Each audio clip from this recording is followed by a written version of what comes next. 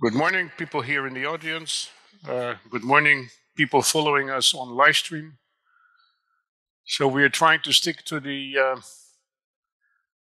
the uh, time schedule of the conference because people will be watching us online on different platforms and in three languages: English, Ukrainian, and Lithuanian.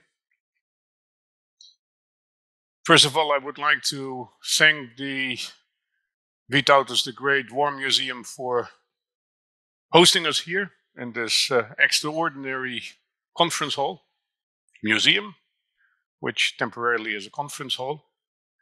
For those who are interested during the break, around the corner is a exhibition um, organized by our center, um, Kaleidoscope of Opposition to Communist Rule, with um, a lot of exponents artifacts, printing equipment with which uh, independent press was made.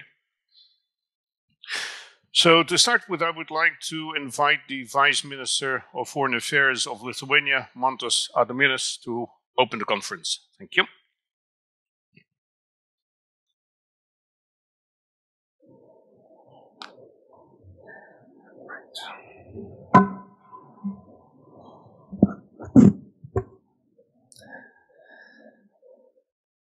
Distinguished colleagues, Professor Van Voren, distinguished rector, dear colleagues.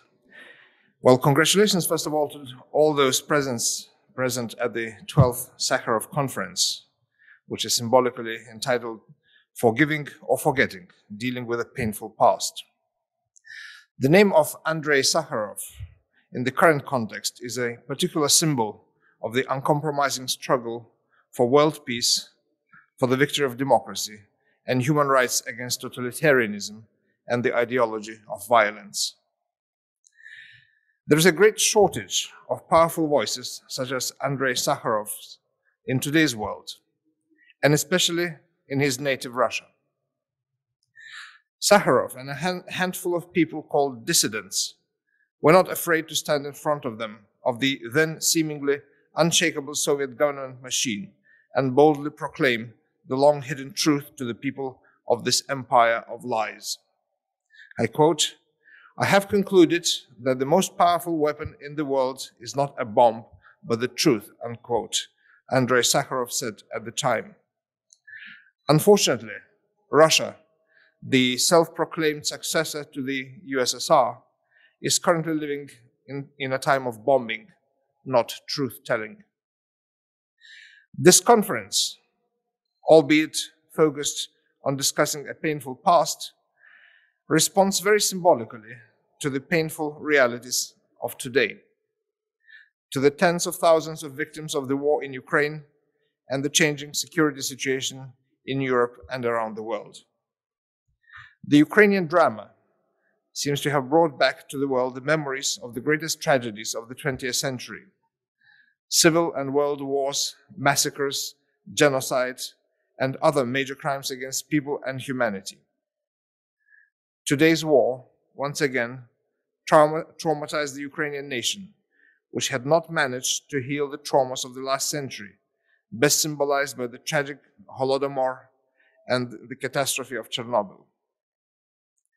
It will take a long term, focused effort to cure these ever deepening new wounds that will leave traces for decades to come. Such traumas are the greatest tragedy of humanity of this time. That is the greatest tragedy, and not the dismantling of the bloody empire of the Soviet Union, as Vladimir Putin would have it, thus using this formula to justify his crimes against the neighboring countries. This conference is taking place on a significant day for Lithuania, exactly 50 years after the tragic death of Romas Kalanta. The sacrifice of Romas Kalanta symbolically continued the struggle of the Lithuanian partisans for the restoration of the independence of Lithuania. It inspired the new, new generations to work for freedom and well being of their homeland. Two decades later, this silent resistance spilled over into the Singing Revolution, the formation of national movement, Sąjūdis, and the restoration of independence, which we have been enjoying for more than three decades. So today, we commemorate the sacrifice of Romas Kalanta and other gener- generous sacrifices placed on the altar of our independence. This conference will also bring back the memories of Irena Veisaitė, the luminary of our country and the entire region.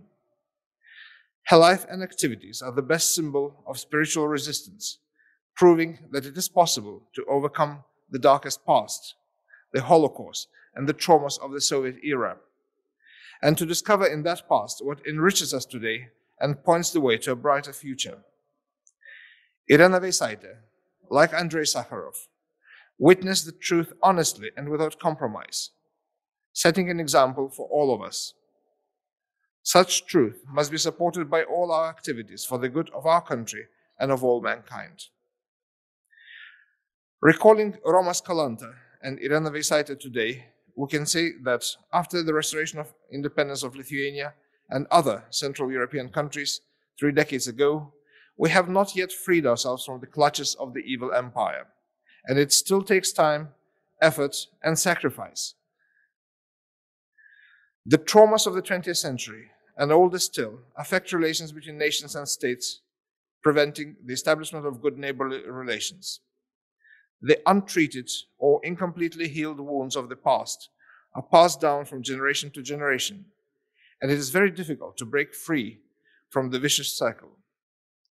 Only an open dialogue about these wounds and a concerted effort by professionals in various fields to heal them can help us to overcome this curse and help us break free from the grip of the past. I think this will be one of the cornerstones of this conference. I am glad that professionals from a wide range of fields psychiatrists, historians, politicians, diplomats, journalists, artists, and others gathered at this conference.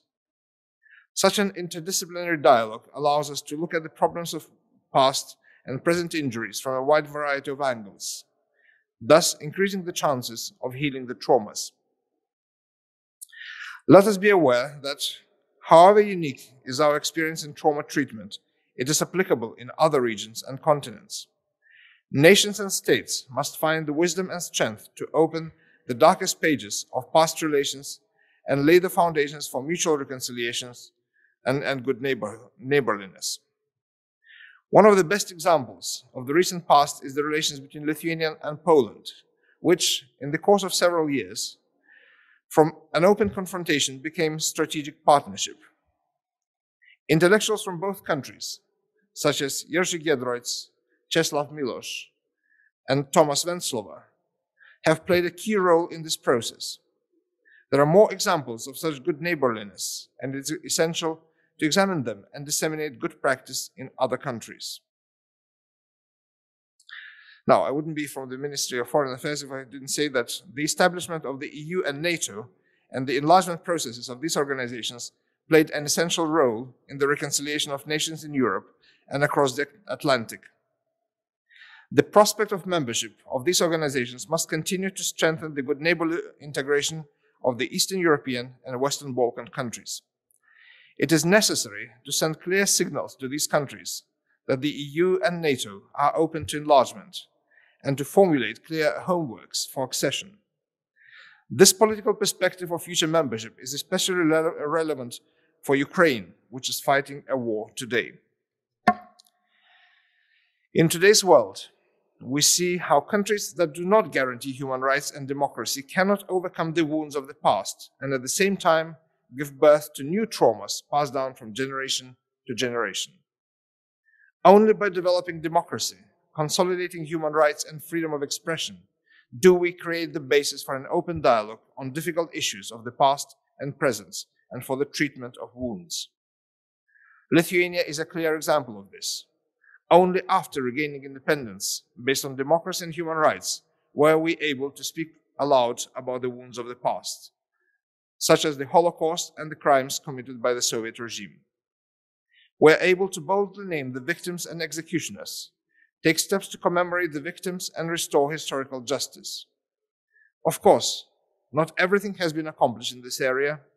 There are still isolated cases of xenophobia and anti Semitism, but we are already able to respond to them in timely and appropriate manner and move forward. Important topics in this context are controversial historical personalities and controversial monuments in public spaces. Such examples can be found in the history of Lithuania during the two occupations. We need to find in ourselves the wisdom and courage to name objective facts, though perhaps not very pleasing to us, so that these topics do not further divide society and encourage discord among people. Unfortunately, there are examples in our region where countries fail to come to terms with their history and avoid telling the truth by all means. Today's Russia is the country that uses the distortion of history to justify its current aggressive policy. The tendentious use of terms such as Nazism, nationalism, and Banderovцы provide an imaginary basis for war with neighboring Ukraine. And in fact, such labeling only shows that Russia itself has not yet dealt with its history and is looking for an excuse for the aggressive intentions of the present. Of the present. In this way, Russia itself becomes a hostage to its cruel history, unable to follow the path of normal development based on democratic uh, democracy and rule of law.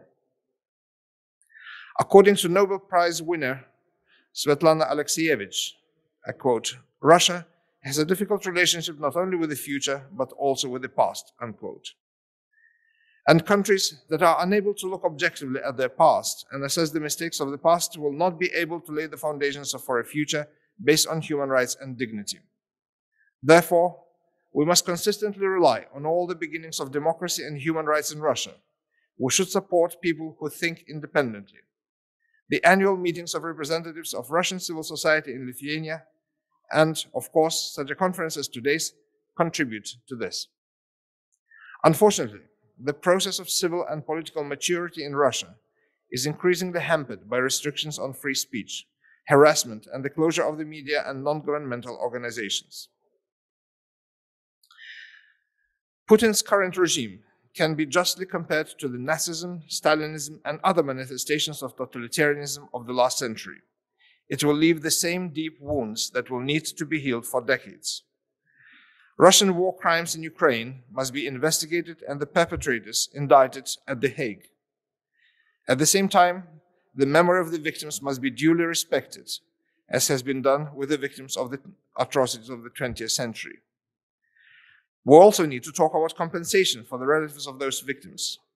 Russia has a long way to go in its relations with other countries especially its neighbors and countries in the region, in order to achieve full, equal, and partnership based relations free from threats, dictatorship, or other manifestations of force. However, now Russia is moving in the opposite direction, trying to justify its aggressive policies with narratives of lies and propaganda. As Andrei Sakharov put it, I quote, a country which does not respect the rights of its own citizens will not respect the rights of its neighbors, unquote. The themes of today's conference successfully combine the past with the present, Interpre- interpreting history for today, encouraging learning from the most painful mistakes of the past. Only by analyzing these lessons will we find a way to overcome the pains of today and lay the foundations for a brighter tomorrow. At today's conference, you will look at the traumas of the past, apartheid in South Africa and genocide in Srebrenica the wounds of the present in Ukraine and Russia. The conference will talk about the clarification of the victims of collective trauma and the commemoration of their memory, the restoration of historical justice. Based on good examples, it will discuss the possibilities of healing wounds between nations and states and building trust and good neighborliness. In closing, I thank you for inviting me to this conference and I wish the participants a good and meaningful discussion. Thank you for your attention.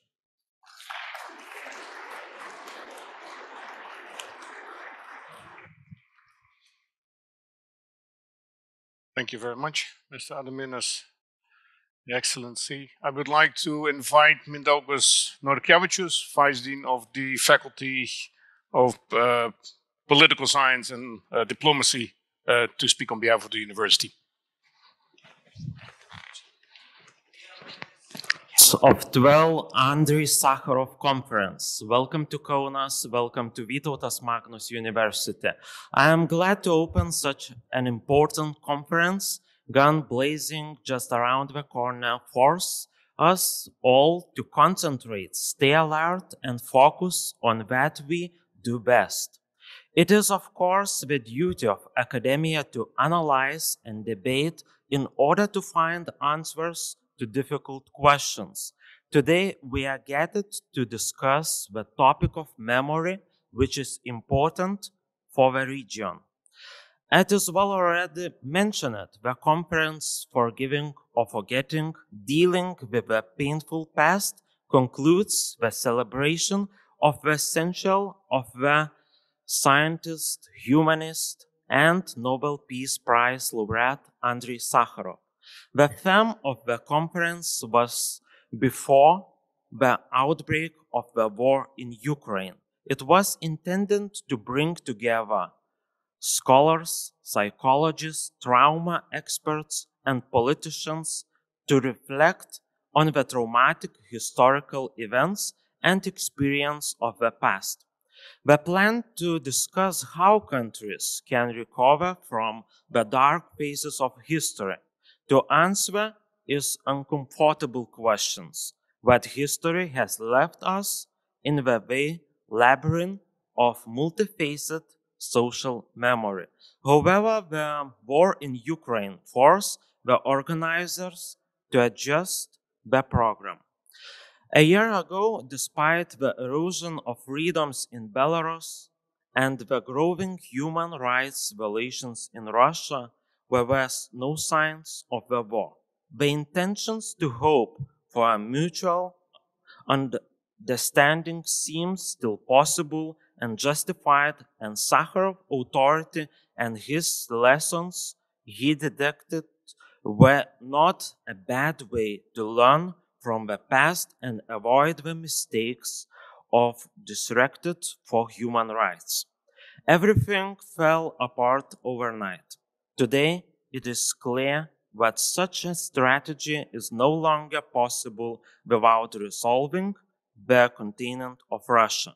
On the other hand, after all, were it not the discussion who repeatedly uh, warned of Russia's dangerous development ambitions, despite the borrowing gap between the declarative concern for human rights and very actual relegation to the margins of a political agenda, where voices have remained unheard. Andrei Sakharov was a leader who inspired generations of people to fight for freedom and human rights by his example. Sakharov's legacy is still relevant in today's climate. It a reminder that human rights and the principle of democracy are always fighting for. There are always threats and challenges to overcome. For Sakharov, human rights were not a simple slogan, but first and foremost an integral part of moral choices. In the today events, it is unfortunate to say that this round has been lost quite painfully. The questions for all of us what will we learn? To paraphrase Sakharov, we have to fight the illusion that progress is possible, technology without empathy. Progress is impossible without freedom and genuine respect for each other. Having this in mind, the importance of this conference is bigger and your task to find clear answers to difficult like how to balance memory and foster cohesion instead of revenge, how to cultivate solidarity and empathy instead of fragmentation into narrow interest. Once again, by leaving you with this difficult question, I congratulate all participants, presenters, guests with this important endeavor and wish you all productive discussions. Thank you very much.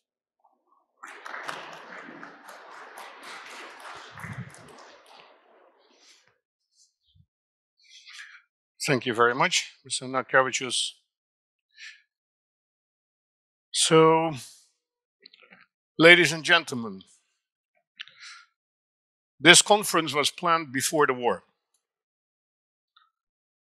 I'm saying this exactly with these words because I belong to a Western European generation that still talked about before the war and after the war, meaning the Second World War. I was born 14 years after the Second World War ended, but bar, war was a daily subject in my life from the very early age onwards. As a psychiatrist friend of the same age once told me, we are war children. For us, war is a daily point of reference. The current generations are peace children. In this part of the world, peace children are still relatively rare. Yes, here in Lithuania, we have had 30 years of freedom and relative peace, even with a constant threat coming from Russia. But in the Caucasus, the concept of peace children never managed to develop. And the same counts for many of the other former Soviet republics. In Chechnya, the Russian scorched earth policy led to a totally devastated nation with a moral degenerate like Ramzan Kadyrov as a result. And now in Ukraine, and possibly also in other European countries, including Lithuania, we will again have a generation of war children, of people who think only in two terms before the war and after the war. That, ladies and gentlemen, is an unbearable thought, yet it is a reality.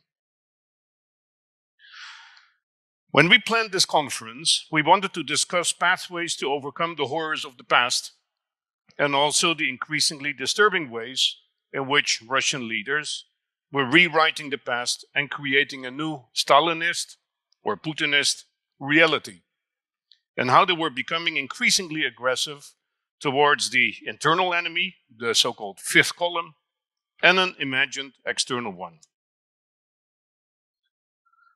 The conference was supposed to be mostly reflective, maybe even philosophical, but now suddenly this all changed. On a daily basis, we watch the horrors of the Russian hordes plundering, raping, torturing, and killing innocent citizens in Ukraine, bombing away whole cities, and then cynically declaring victory after a so called successful operation. The so called denazification campaign is implemented with a playbook that would fit perfectly the, to the Nazis in, during the Second World War and is no less violent than the behavior of the Reds during the civil war in Russia more than a century ago.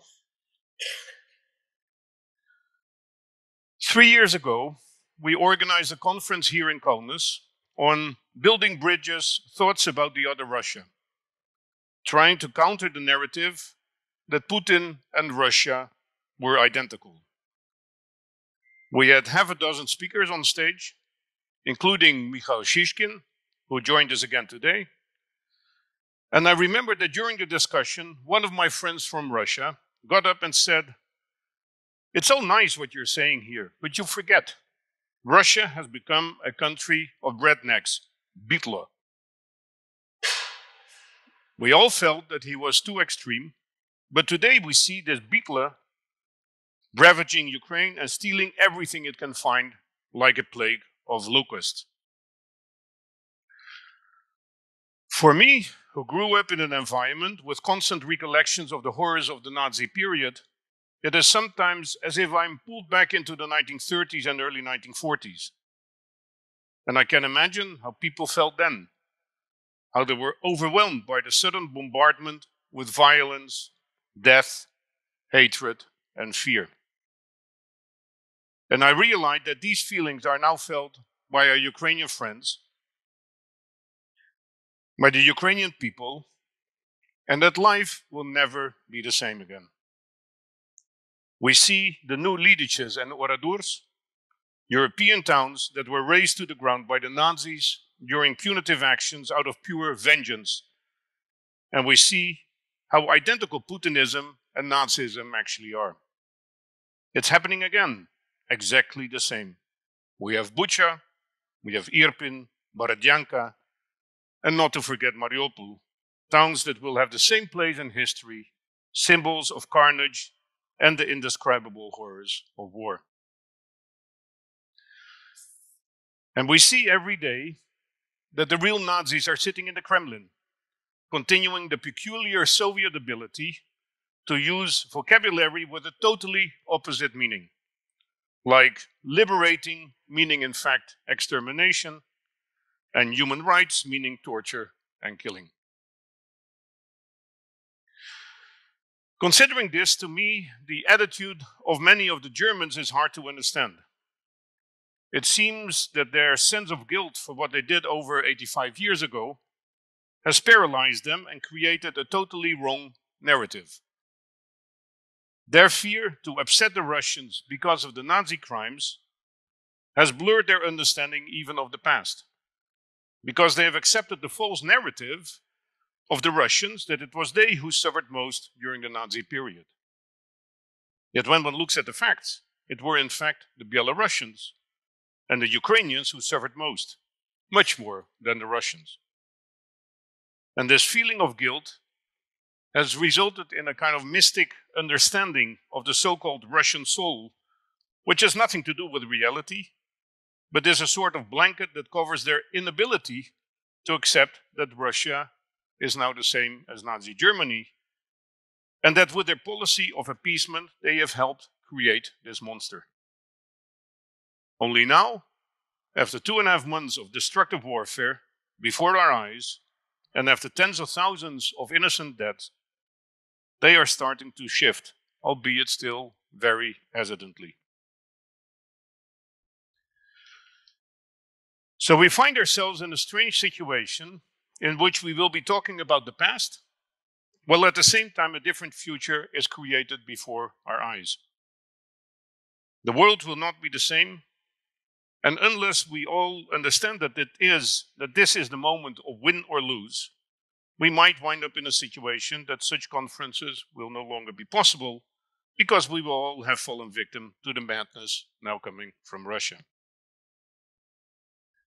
Still, I think it is important that we discuss elements of the past, even today, because I believe the future is on our side, and there will be a day that we can build again a better future, a free and democratic future, not only in Ukraine, but also in other countries that are now part of Putin's playground, such as neighboring Belarus. In fact, I believe that what we see today is the continuation of the process that started 35 years ago when Lithuania took the road to independence, did the impossible, and by declaring reinstating independence, it triggered the partial disintegration of the Soviet Union. Partial because the process stopped in 1991 and was actually never completed. The Russian Federation survived as a sort of small Soviet Union, went through a decade of relative freedom, and then gradually came back under the leadership of Yuri Andropov's faithful here, Vladimir Putin. And what now needs to happen is the completion of the process, the final deathbed of the USSR. In conclusion, I want to come back to that heroic role that Lithuania played. Indeed, Lithuania was at the forefront of the liberation struggle. But to my surprise and sometimes even dismay, I see that the country does not rightfully honor those who fought for the freedom during the post war Soviet period, but tends to focus still more on glorifying the leading role in European history in the 15th, 16th, and 17th century. I understand that talking about the distant past is safer, than the more recent one. But the result is that young people do not even remember their recent heroes or how their freedom came about. Why does Solidarność in Poland have a huge and multifaceted educational center in Gdańsk? And why in Katowice there is a new and beautiful museum at the Wujek mine, where in December 1981 nine miners were killed by Jaruzelski's troops? Why is there a Jan Palach museum? And is the name of Jan Palach known throughout Europe? and is Romas Kalanta still hardly known? Even in Lithuania, knowledge is rather superficial. Why was there no interest when we developed a dissident tour of Vilnius, trying to mark the places in the city that were so important to the recognition of the fight against Soviet occupational power? I have my thoughts why this happened, but I would need much more time than I have today to explain why I think this happened. What is important here is that, in my view, this ought to be addressed. The heroes of the recent past need to have their place in history, in the public domain, because how can we otherwise mobilize young people to defend the freedom that they have now, the freedom that Putin and his criminal regime despises and wants to destroy? This, ladies and gentlemen, is, in my view, one of the most important tasks ahead. In the city, you will see many posters of our I Am No Sakharov But campaign. This campaign was developed before the war and then slightly adjusted to the new realities. And it is important, I think, especially at this moment, because I can assure you that Sakharov would have stood up immediately and, saw, and said what he thought about this criminal war and would have accepted the consequences, whatever they might be. His example is more important today than it ever was, but Tatiana Yankelevich will tell you more about this. Thank you. So I would like to give the floor to Tatiana Yankelevich. She's an independent researcher affiliated with the Davis Center for Russian and Eurasian Studies at Harvard University. She is a retired educator in the field of post World War II Soviet history and the Soviet human rights movement. She emigrated to the US, USA in 1977. And during the 1970s and 1980s, she campaigned extensively on behalf of her stepfather, Andrei Dmitrievich Sakharov, and for his causes in the US and in Europe. And she helped maintain his archives, translated a lot of his correspondence statements and other materials, and then did the editorial work for the publication in English and Russian of his writings. From 2004 to 2009, she was director of the Sakharov Program on Human Rights at the Davis Center for Russian and Eurasian Studies at Harvard University, which is now the home of the Andrei Sakharov Archive. Tatiana, the floor is yours.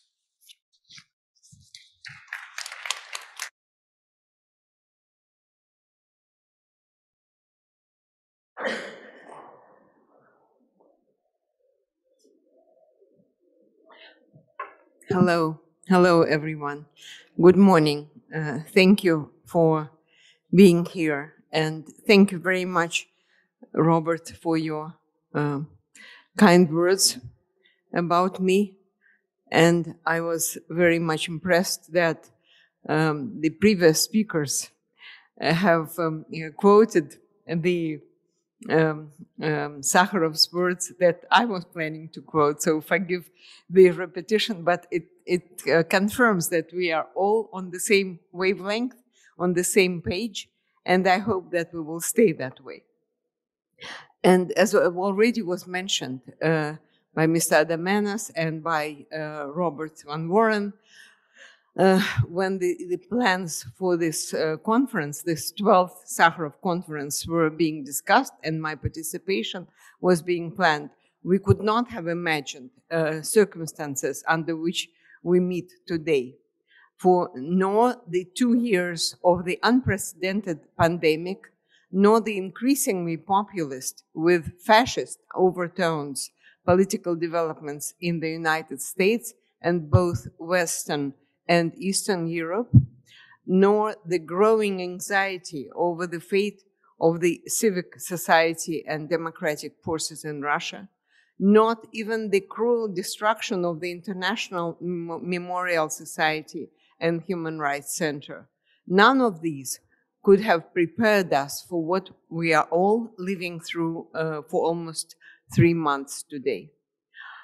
Since February 24th, we find ourselves in a different time and universe, and my focus has been necessarily shifted by these tragic, bloody, and cruel events.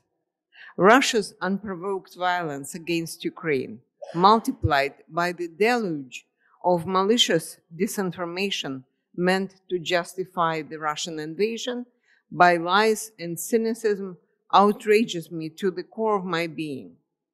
The everyday news of the human price, the pain, the suffering, the blood and carnage gives me a lump in my throat and chokes my speech.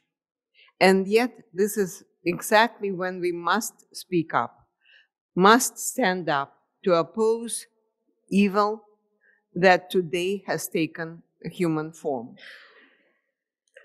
But what is there to say in the face of such overwhelming evil?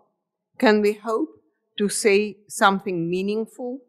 Can we even begin to hope to keep the hope alive? I confess that I am on the verge of despairing, if not beyond it. Wouldn't it be naive and self deceitful to grasp at uh, straws of humanism, belief in reason, and in high minded ideas? Perhaps, but at least we would not fall into outright cynicism. And in a way, this would help us do our duty as human beings.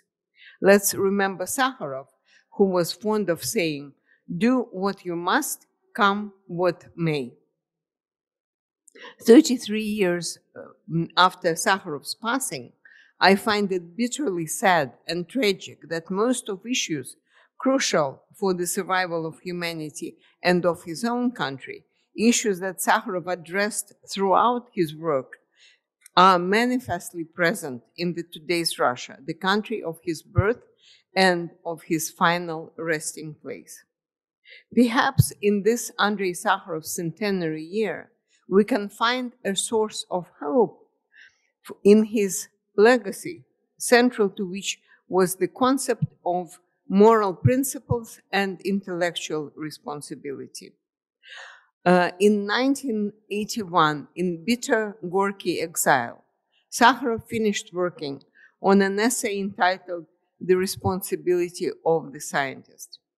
In it, he assigned a special place for courage, integrity, and honesty as essential to the fulfillment of one's responsibility as they make it possible to um, resist the temptations or, and habits of conformity. In this essay, he named 55 prisoners of conscience in his own country, the USSR. One of them was a biologist, Sergei Kovalyov, whose trial in 1975 took place in Lithuania, in Vilnius, on the same day, Uh, on the same days, the Nobel Peace Prize ceremony for Sakharov was taking place in Oslo. And the trial of Kovalyov, Sakharov was prevented from attending by the KGB. Years later, Kovalyov, by then a free man, summarized Sakharov's moral makeup as follows. Andrei Dmitrievich was the bearer of thinking based on reason. His intellectual work whether it concerned science, politics, or the struggle for human rights, was fully in line with the qualities that define a true scientist. These qualities can be reduced to three freedoms. He was free of fear, selfishness, and free of prejudice. Is it new morality? No, it's the most ordinary human morality, only very consistent. The last time it was formulated with the utmost clarity was about 2000 years ago in the ancient legends of mankind, where the fruits that allow to distinguish good from evil grow on the tree of knowledge. Ordinary human morality, unlike that of the saints and of the prophets, is based on reason and on nothing else. And Sakharov's consistency in the implementation of moral principles is simply another name for intellectual responsibility. End of quote. Today, we regard Andrei Sakharov as one of the 20th century historic figures of Russia and of the world. This is guaranteed by his scientific achievements, including his role in the development of the Soviet nuclear weapons, and by his courage and humanism as a dissident and public figure. Sakharov's faith in reason was originally limited to the sphere of nuclear weapons. Stirred by the ethical implications of testing these weapons in the atmosphere, uh, it acquired a moral sensibility, and this led to a far more profound concern with the universe sphere, with the universal sphere of human rights. Sakharov bonded reason with ethics and applied ideas not only to an astonishing range of scientific subjects, but also ultimately to matters of human freedom and world peace. He was among a small group of Soviet dissidents that chose to take a stand for human rights at great risk to their freedom and life. They made an historic uh, difference, none more so than Andrei Sakharov. He had the vision of the world with ideological differences set aside, creating common ground around universal principles of human rights and accountability to citizens in order to repair the problems of, the, our, of our world. Today, at the time of unprecedented and violent developments in the post totalitarian Eastern Europe and in the world in general, this vision is as vital as it was in his lifetime. Sakharov's centennial is an opportunity to seek not only peace, but authentic and selfless collaboration in solving the problems of the world, such as poverty, environmental challenges, oppression, and most of all, war, military crimes, and crimes against humanity. Andrei Sakharov came to embody values shared by most people of our planet, including Russia courage, open debate, scholarship, transparency, peace, and freedom. For many years, civil society organizations in Russia has been uh, courageously working to realize Sakharov's vision of peace and human rights until the most recent cruel suppression of all democratic NGOs, including the Memorial Society. I would like to offer a few words what seems to be, to me, uh, definitive in Sakharov's uh, social political position. In an essay um, on Sakharov evolution as social philosopher, and the humanist Efrem Yankelevich wrote, I quote, Sakharov possessed a rare talent, empathy with human suffering, no matter where it occurred. The planetary nature of Sakharov's thought, his worldview, issued from conviction about the connectedness of the fates of humankind, which he shared with forerunners Albert Einstein and Niels Bohr. We are all in one boat and we will perish together or be saved together. And finally, Sakharov believed that social and technical progress can and should relieve human suffering. More precisely, Sakharov's democratic convictions brought him to believe that people are capable of rationally constructing their public life and rationally employing the fruits of scientific progress. End of quote. First formulated in his Nobel Peace Prize lecture of 1975, Andrei Sakharov promoted the principle of indivisibility of human rights and international security, now universally recognized as the Sakharov Doctrine. He lived to witness the end of Cold War, the fall of the Berlin Wall, and the beginning of what seemed like the New World Order, where human rights would be respected. However, the hopes were soon dashed as much uh, of the post Soviet world reverted to authoritarian rule, the suppression of fundamental human rights, and to the criminalization of dissent. This negative dynamic has ultimately undermined international stability and security, culminating in the unprovoked invasion of Ukraine. Today's Ru- Russia's uh, power structures have all but succeeded to take the country back to totalitarianism. The memory of henchmen be it Dzerzhinsky, Beria, or Stalin, responsible for crimes against humanity and mass murder of tens of millions of the innocents, has been immortalized and perpetuated. The FSB, Federal uh, Service of um, uh, Federal Bureau of uh, Security, proudly declares itself as a direct heir to the KGB while practicing the extrajudicial murders of Kremlin opponents with internationally prohibited chemical weapons.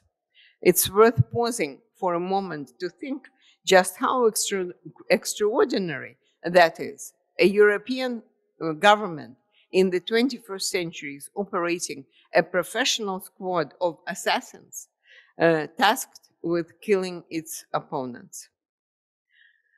Human rights in the post Soviet space deserve the attention uh, of the international community and constructive measures to protect these rights by the countries signatories of the Helsinki Accords, even and, even and perhaps especially in the times of Russia's violent aggression.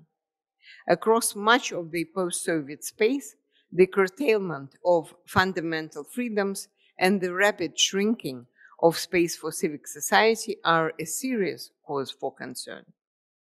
Civil society, civil society has been unlawfully stifled and strangled. The most recent and reprehensible was the state sponsored destruction of the Memorial Society, re- renowned world over for its courageous work to preserve historic memory of victims of the past atrocities and to defend the unjustly persecuted of today. In my opinion, there is an affinity between the worldview of uh, Vladimir Vernadsky and Andrei Sakharov when it comes to the idea of humankind's planetary unity and to the need for a new global morality. Uh, the, these two great men uh, share the belief in the power of reason and free thought, the sense that history is a sum of human endeavors. From this worldview is born the sense of duty to mankind, not to any one ideology, a sense of responsibility for the course of human events. In the midst of great terror, Vernadsky contemplated the place of free thought and moral responsibility of a scientist as a free individual in civic sphere. He considered it essential, and I quote, speaking the truth with no concessions. This was particularly difficult under the Soviet regime, with its total ideologization of science and destruction of science's independence. Today, the international civic community faces new challenges and is yet to live up to its responsibility to humanity. A new challenge is presented uh, by the need for coronavirus cure. Another responsibility is to continue preventing our planet's self-annihilation in a nuclear confrontation. And much like in the times of Sakharov, there still remains a duty to defend unjustly persecuted wherever these injustices may be taking place. Today, this duty is particularly poignant and urgent. Even before the despicable aggression against Ukraine, Russian irresponsible leadership took Russia in a direction that goes against everything Sakharov believed in and I'm referring to the amendments to, the, uh, to Russia's constitution that allow the president to remain in power almost indefinitely, amendments that effectively end the separation of the state and the church, insult and alienate non-Russian citizens of Russian Federation, and make any criticism of the powers that be a criminal offense. I'd like to remind you that this is exactly the scenario Sakharov warned against shortly before he died, when campaigning against the unlimited powers granted any country leader, however humane. What the global community can learn from Andrei Sakharov's life. Sakharov was one of the very few to, to, uh, who had intellectual courage and idealism to speak his mind. Many conformists and opportunists saw him as God's fool. Some even proclaimed him insane. It turned out that he saw farther than most.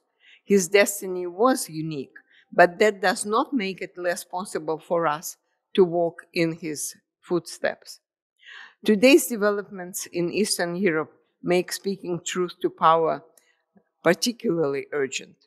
We must summon our intellectual and civic courage to stand up to the Belarusian government cruel repression of civil society organizations and to unlawful and arbitrary persecution of the Russian um, of the Russian of the Russian civic NGOs, and above all to Russia's cynical, irresponsible, and criminal assault on a neighboring country, Ukraine, three months ago, almost three months ago. In my mind, there is no doubt that this horrendous decision is the result of the unquenchable lust for power of Vladimir Putin, the world, the, the, the would be absolute monarch type dictator whose deranged view of history and Russian imperial nostalgia took him down the perilous path of war. We can seek inspiration for our actions in the Sakharov doctrine central concept, the indivisibility of peace, international security, and human rights. It began to take shape in the early 1970s out of concern that political detente of Brezhnev and Nixon without democratization of the closed Soviet society, and I quote, would be very dangerous and it would not really solve any of the world's uh, problems. It would mean capitulating to the growing power of the USSR.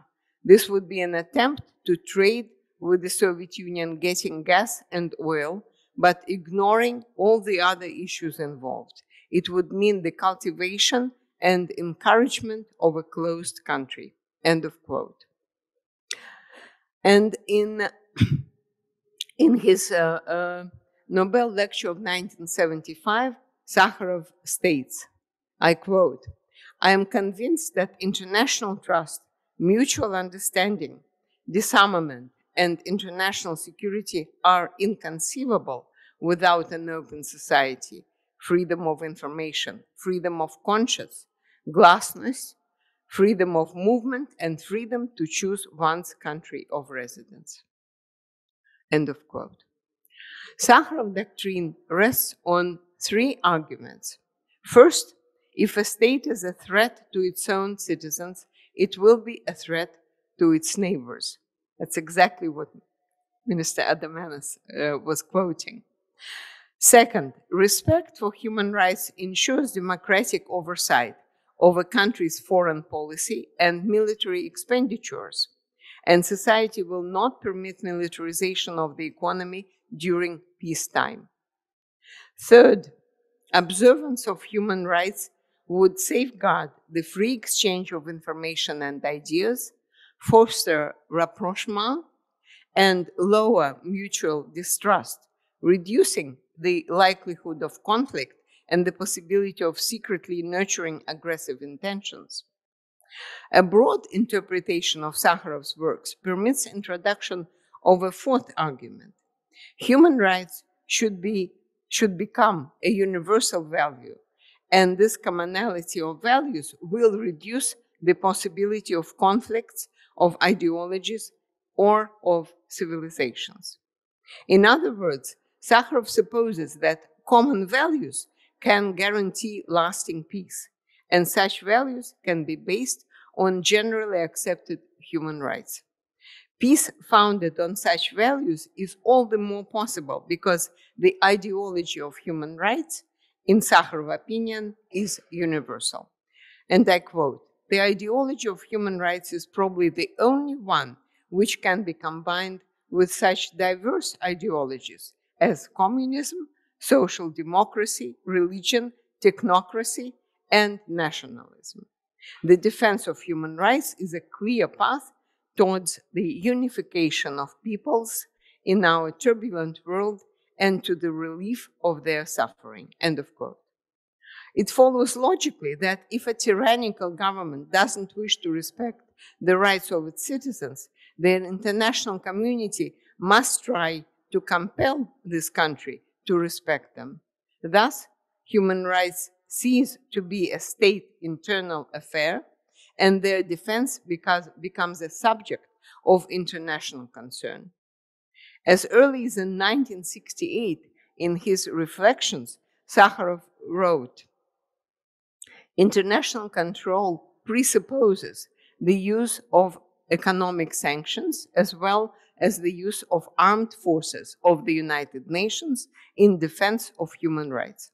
The goal of international policy is to ensure worldwide fulfillment of the Universal Declaration of Human Rights and to prevent a sharpening of international tensions or a strengthening of militarism or nationalism.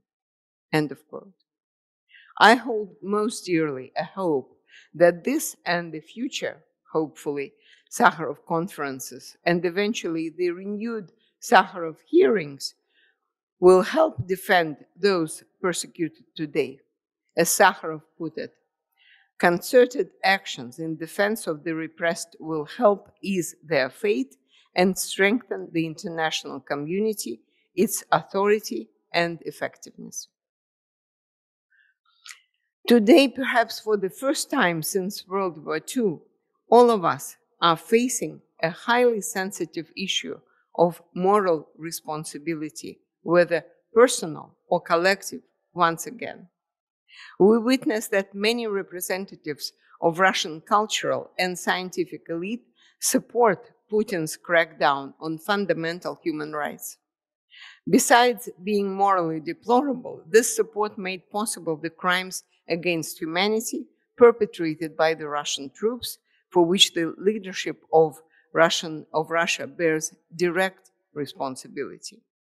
Still, let's not forget that many of Russia's and former Soviet Union scholars and scientists and uh, people of um, creative professions and public figures have spoken out in protest the cruel protesting the cruel crackdown of the freedom of exchange for, of ideas, of self-expression, of peaceful pro protests, and most re recently, the criminal war in Ukraine.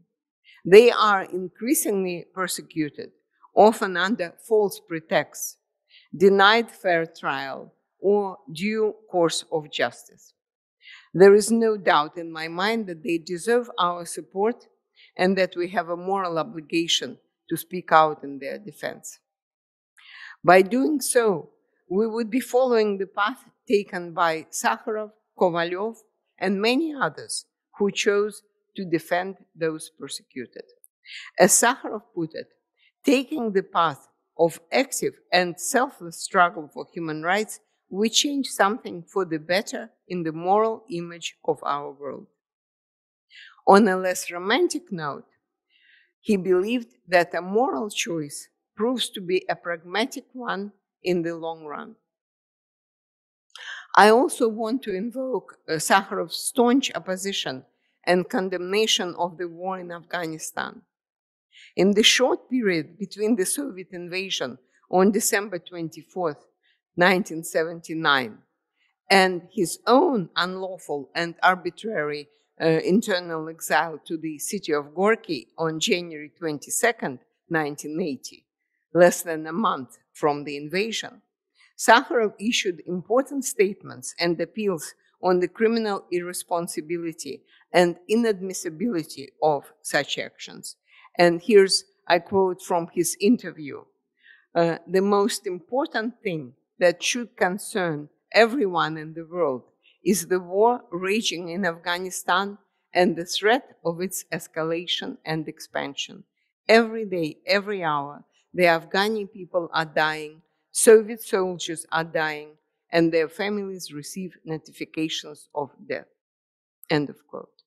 Today, 77 years after Nazi Germany unconditional surrender, much like Nazi regime in 1939 and 1941, treacherously, without declaring war, Russian President Putin sent troops into a sovereign state. Russia's military bombs cities, kills civilians, including children, deprives overnight 6 million people of homes and normal life. Putin's regime brazenly lies to its own people, robbed of the freedom of speech and the right to truthful information. Today's atrocities by Russian troops in Ukraine trample the memory of those who died so that the horrors of that war would never be repeated. We can repeat Russia's marching slogan of today is a travesty of those fallen in World War II and of their ultimate sacrifice. Putin's assertions about Nazis in Kiev are baseless, but there are striking analogies between the way the Soviet Red Army operated during World War II and the way the Russian army is operating currently against Ukraine. Gratuitous brutality towards civilians, rape as a tool of warfare, soldiers as cannon fodder, mass looting. These analogies, far from reflecting favorably on either the Red Army or today's Russian army, underscore the deeply immoral nature of Russia's war in Ukraine. Is there any doubt what Sakharov would be doing today were he alive? Not unlike the early 1980s, he would put out a plan, a roadmap of actions essential to restoring peace. In his statements just before his exile, followed by his undeterred stand already after deportation to Gorky, he called the sending of Soviet troops into Afghanistan a terrible mistake that caused thousands of Soviet casualties and endangered world peace.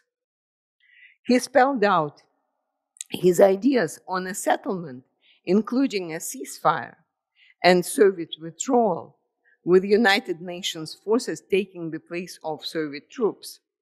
He insisted that the UN Security Council plus Afghanistan's neighbors guarantee the country's independence and that, and that the United Nations member states grant asylum to uh, the refugees fleeing Afghanistan. He insisted that international economic aid should flow into the country and that Moscow should contribute to it. Sakharov also called for the amnesty for political prisoners within the USSR. He said, Soviet authorities are trying to degrade and discredit me in a way that unties the government's hand for any future repression of dissidents inside the country. He proclaimed this as his philosophy. I support a pluralistic, open society that is both democratic and just.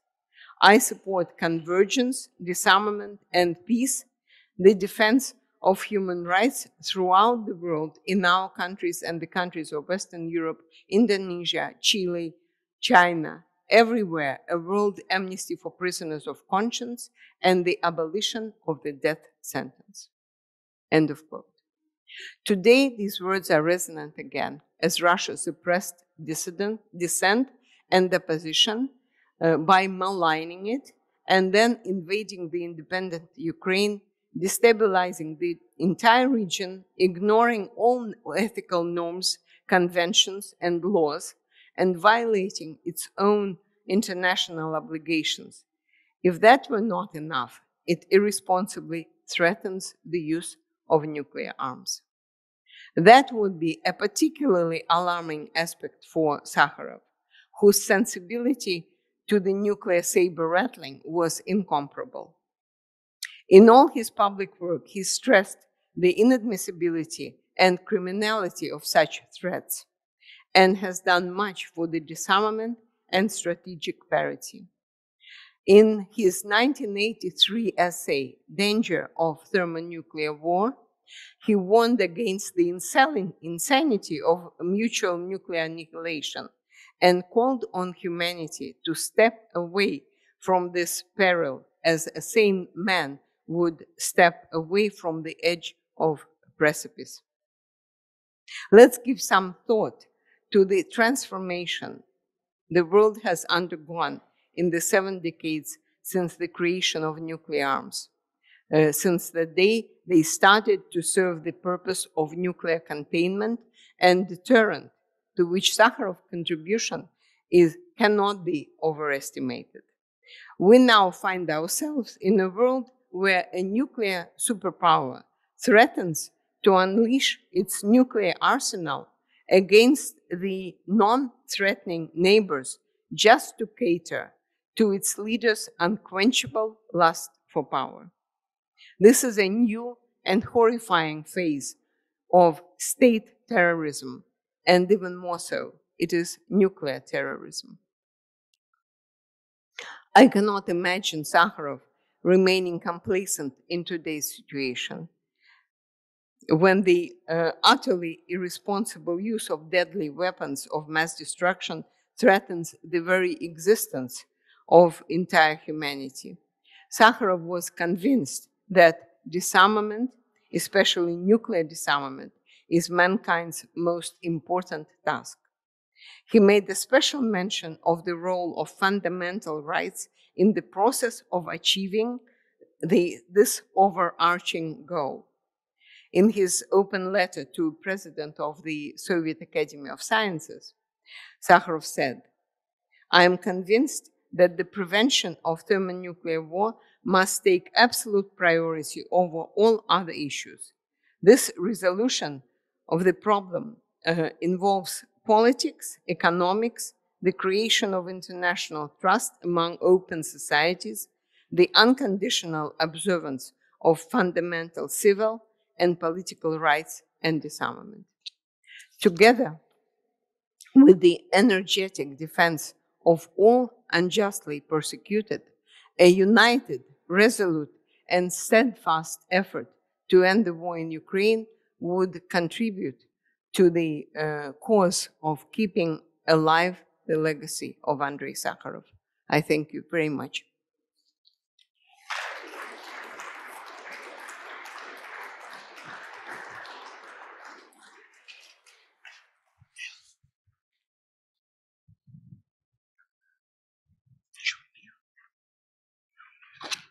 Before we uh, go for our coffee break, I would like to explain if you go during the coffee break in that corner, you will find this exhibition that we have here for a month, which is called Kaleidoscope of Opposition to Communist Rule.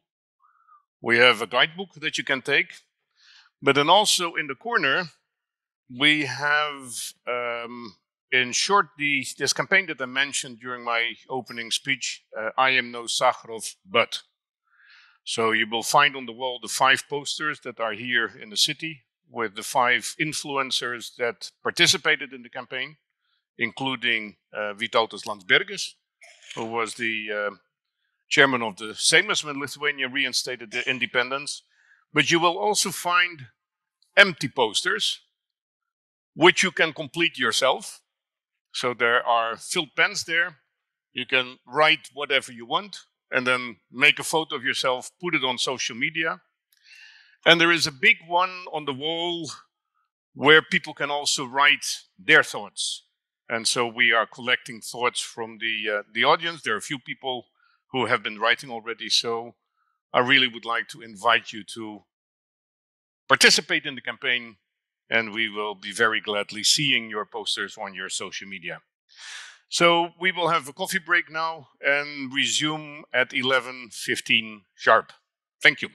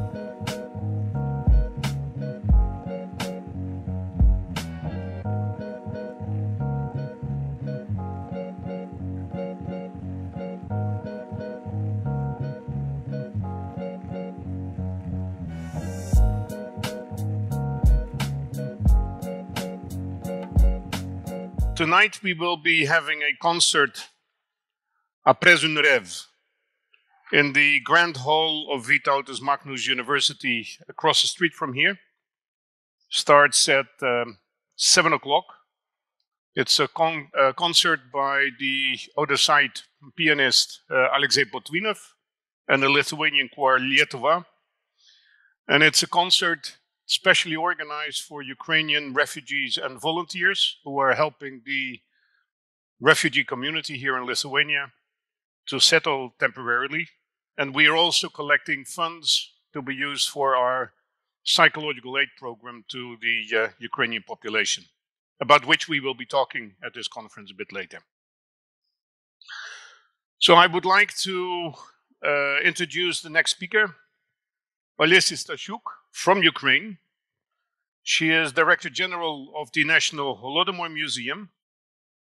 She got her higher education at the uh, Mihailo Kotsiubynsky Pedagogical Uni- University in Vinnytsia, and then continued her studies at the Taras Shevchenko University in uh, Kiev. Her PhD thesis was on deformation of the traditional culture of Ukrainians in the late 1920s, early 1930s. And uh, in December, she defended her doctoral dissertation at the Institute of Commissioner on the Institute of Commissioners in the 1932 and 1933 Holodomor. So she is general director of the Holodomor Museum since March 2015. Olesya, very happy to have you here.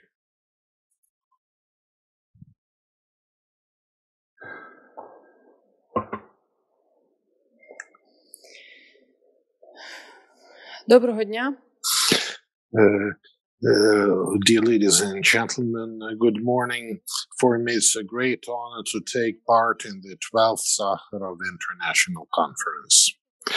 In October 1971, Andrei Sakharov spent two days in Kiev. Uh,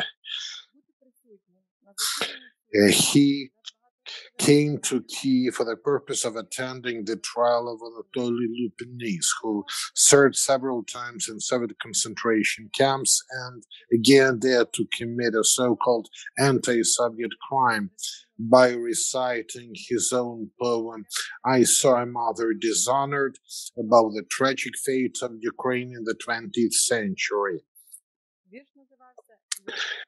It was at the monument of Ukraine's great bard Taras Shevchenko on the 22nd of March.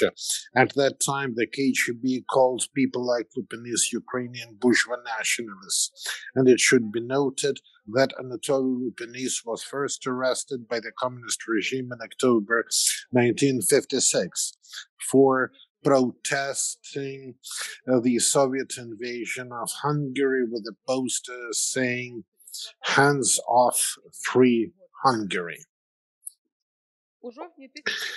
In October 1971, Andrei Dmitrievich Sakharov was not allowed into Kiev's uh, courthouse where the reprisal against Lupinis was to take place.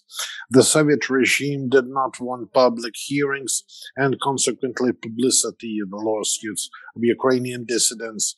Andrei Dmitrievich was well aware of this and he defended all dissidents, regardless of their nationality.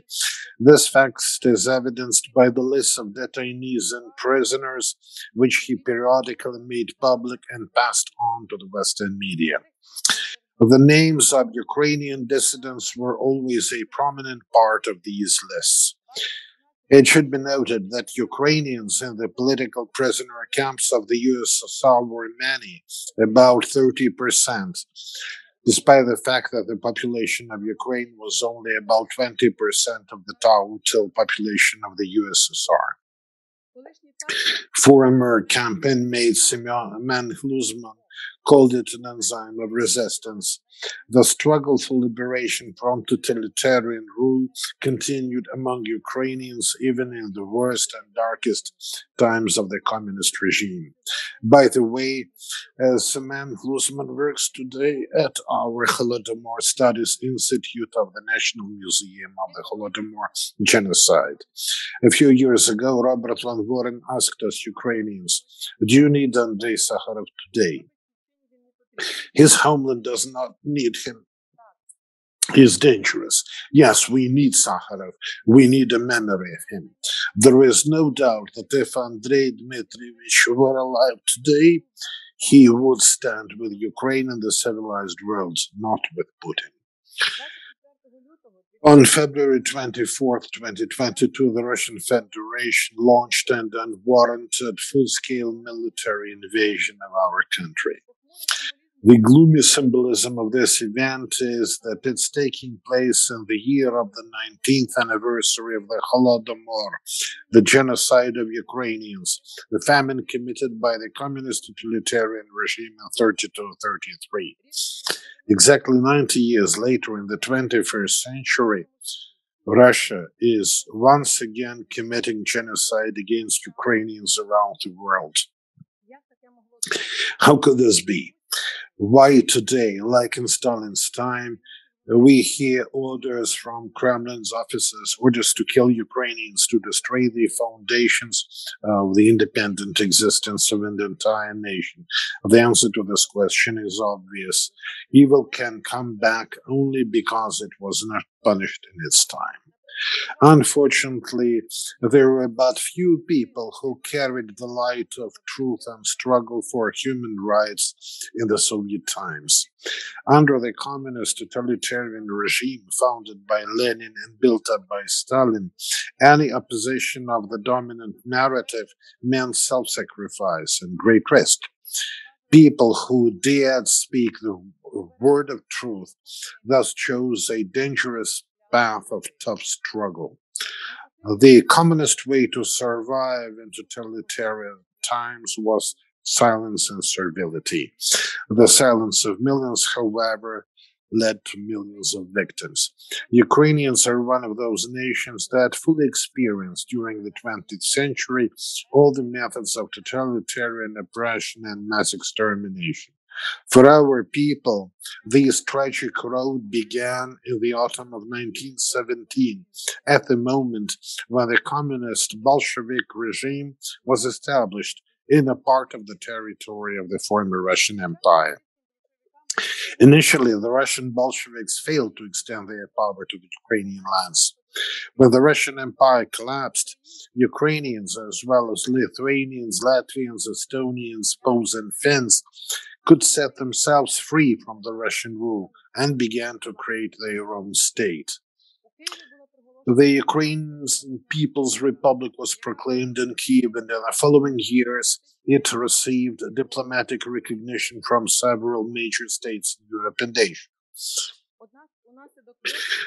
However, in the outcome of the three Russian Ukrainian wars of 1917 1920, the Russian Bolsheviks were able to occupy most of Ukraine's lands. Immediately after the establishment of its regime in Ukraine, there by the Kremlin's order, a food army was created to seize grain and move it from Ukraine to Russia in order to ultimately quash the guerrilla resistance and establish bread monopoly. The occupiers used an extremely insidious weapon of mass destruction, artificial starvation. In May 21, Lenin wrote in uh, a cable to the leaders of the Bolshevik regime in Ukraine, Frunze, Petrovsky, and Rakovsky. The harvest in the south is wonderful. Now the main issue of all Soviet power of life and death for us is to collect 230, 100,000 inputs from Ukraine. Take everything away, set triple cordons, not to miss any places of production, not to lose a single pound. This must be done in a military like manner the consequence of such an aggressive food policy and forcible seizure of grain in the starving regions of Ukraine was the first mass artificial famine of 21-23, which claimed the lives of 3.5 million Ukrainians. The Bolsheviks managed to disguise it but blending it with the natural famine that occurred in the Volga region and some other regions of the former Russian Empire in the early 20s. The The Bolsheviks used this used experience this of experience of instrumentalized instrumentalized application application of the 1921 1923 famine, as well as the concealment of its true course, when preparing their next crime, a much large scale attack on the foundations of the Ukrainian nation's existence. Having destroyed the social fabric of Ukrainian society, through collectivization and dekulakization, the communists organized the crime of genocide in Ukraine in 1932 1933 in order to destroy the Ukrainian nation as a whole, which in turn should have eliminated the potential for Ukraine to secede from the USSR, creating the preconditions for the genocide of Ukrainians started in the late 1920s. In particular, on the eve of the Holodomor genocide, the Bolsheviks launched a sweeping campaign of repressions against the Ukrainian intelligentsia and the Ukrainian National Church. The goal of the genocidal Holodomor was to eliminate the very foundations of the national liberation movement of Ukrainians and prevent the restoration of the Ukrainian state. During the 1932-1933 genocide of Holodomor, the communist regime exterminated 10.5 million Ukrainians in Ukraine and Ukrainian ethnic lands within the former Soviet Union, including over 9 million in Ukraine proper. The Bolsheviks had long denied the very fact of famine, forbidding even the use of the word famine to refer to what they had done in Ukraine. Notably, it is in the same way that the current political regime of Putin's Russia forbids calling its invasion of our state a war. In the 90 years since the first genocide of Ukrainians, the Kremlin has not changed at all, concealing the crimes of the Soviet leadership. Its successor, the Russian Federation, continues to spread the myths across the world about the Union wide famine that allegedly affected the Soviet Union in the early 1930s, regardless of the intentions of the Russian Bolsheviks. The extermination of the Ukrainian intelligentsia continued during the Great Terror and other large scale repressive campaigns of the 1930s, which killed about 600,000 people. In early autumn of 1939, the communist reprisals were extended to the western Ukrainian lands that had been occupied by the Red Army in furtherance of the secret agreements of the Molotov Ribbentrop Pact. During 1939 through 1941, tens of thousands of people living in these areas were deported to the SSR's concentration camps and settlements in remote areas. Thousands were imprisoned and executed. In 1946 through 1947, after the end of World War II, instead of a post war reconstruction, the communist regime organized a third artificial mass famine that claimed the lives of 1.5 million Ukrainians. With its instrument of mass extermination by starvation alone, the Kremlin's communist regime killed 15.5 million Ukrainians who died as martyrs in 1921, 1923, 1932 through 1933, and 1946, 1947. For comparison's sake, this is about the same number of people that now live in Denmark, Norway, and Finland combined. In 2019 through 2021, a pre-trial investigation into the Holodomor genocide of Ukrainians, which was carried out by the Security Service of Ukraine, helped to make careful estimates of the demographic losses of Ukrainians as a result of actions of the Russian communist regime. It is from these investigation files that the figures I have quoted come from. The Crimean Tatars became another people on Ukrainian soil who were subject to mass extermination by the Kremlin. In May 1944, the communist totalitarian regime deported Crimean Tatars, the Kirimli, from the Crimea to Central Asia and Siberia. In two weeks, more than 193,000 people were relocated from the Crimean Peninsula and deported for life. Another 13.2 thousand Kirimli were deported in 1945 1946 following resettlement. Their living conditions deteriorated so sharply that it resulted in a significant reduction in the number of Crimean Tatar people. In November 2015, the Verkhovna Rada of Ukraine recognized the forced eviction of Crimean Tatars, which put these people into living conditions that led to accelerated depopulation as an act of genocide. Since 2016, the victims of genocide of the Crimean Tatars in Ukraine have been commemorated on May 18. Russia has always viewed Ukraine as the main object of its genocidal policy. This was due to the fact that by denying the Ukrainians their right to existence and by destroying them, the Kremlin also tried to appropriate the culture and history of our people.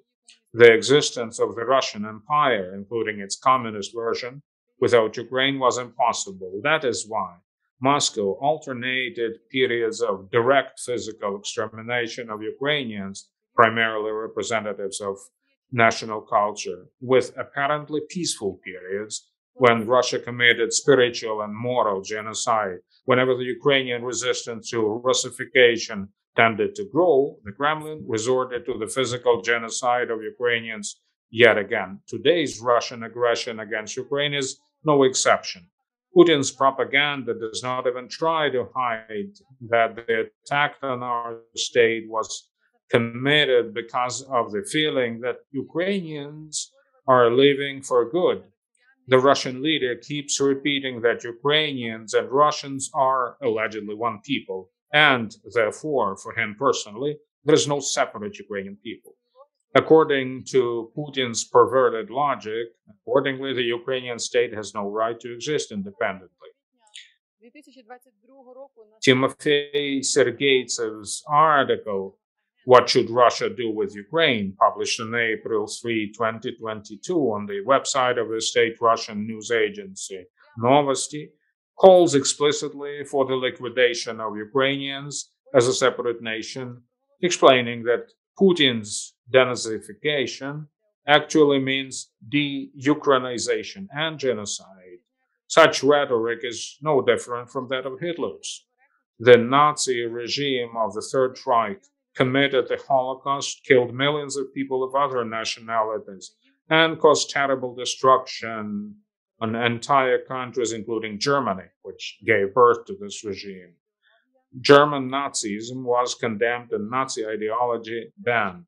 The biggest mistake of the world's democracies in the 20th century was that they did not do the same with the communist regime of the Soviet Union. Satisfied with the defeat of the USSR in the Cold War, the collective West did not demand that the post communist states of Eastern Europe and, above all, Russia should carry out real and consistent decommunization and legally condemn the crimes of communism. Thus, the problem spilled over to the 21st century. Only some states that emerged after the collapse of the USSR performed decommunization on their own initiative, and Lithuanians' experience in this regard deserves the highest approval. Meanwhile, diametrically opposite processes were taking place in Russia. Putin, who is de facto successor to the communist regime, has transformed its legacy into a new form of totalitarian rule, sometimes called Putinism and sometimes Russism, symbiosis of fascism and Stalinism. Using the misleading talk about the protection of the Russian language and culture as a guise, Moscow imposes its ideology and known rules of the game on the Russian speaking people around the world. The Kremlin's main goal is to turn Russia into a superpower. Putin is not at all interested in the price he will have to pay for this. Zombifying Russia's citizens. Putin's propaganda uses a real Orwellian newspeak in which the killing of Ukrainians is called liberation. Millions of Russians repeat this lie without even trying to think about who or what they're going to liberate us from. From our life, obviously. During the two months of the Russian aggression against Ukraine, more than 25,000 civilians in our country were killed, including more than 200 children. The flourishing Ukrainian cities of Mariupol, Irpin, Bucha, Vorzel Borodyanka, and Kharkiv were turned into rubble. More than 10 million Ukrainians have been forced to leave their places of residence, and more than 5 million of them have gone abroad now. The crime of genocide that Russia is committing in Ukraine today is particularly brutal and cynical. For example, in one of the liberated cities of Ukraine, the Russian occupiers had shot a young mother, tied her living child to the already dead woman, and attached an explosive device between them. When people tried to untie them, it detonated. Such atrocities are supported